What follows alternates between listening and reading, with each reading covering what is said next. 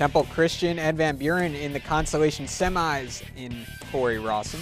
Set one, Pioneers Anna Acklin starts off the match with an ace. And then it's Temple's Meredith Hunsicker coming up with the big block. It's a 3-0 start for Temple. Back comes Van Buren. Addie Miller, the power point right there, nicely done. And then it's Kylie Sturgill coming up with the middle kill as the Black Knights get the sweep. Two to nothing. You can see the consolation match and the finals of this event tomorrow night.